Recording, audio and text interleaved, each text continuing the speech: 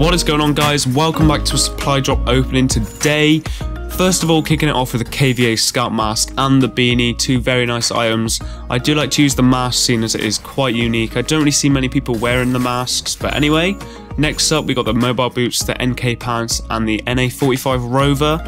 I don't really, well I do actually really like the Rover skin, but I don't really use the NA45. I usually refer to the Atlas or the MORS actually for sniping, but anyway. Next up we got double XP and the beanie again unfortunately. But the double XP does actually come in really handy, so I actually like that drop. Many people don't, but next up we got the Bulldog Berserker. This has got an up on damage and handling, and it's just great. It looks really nice too.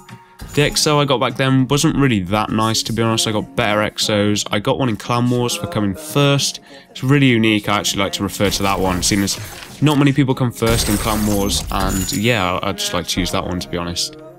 Next up, we got the Atlas Airborne Shin Guards. I've had these about 20 times. Horrible things. I just like to discard them instantly just for space in my inventory. But as you can see, we get the Atlas 20mm. Really nice gun. And yeah, I will be using that skin for sure.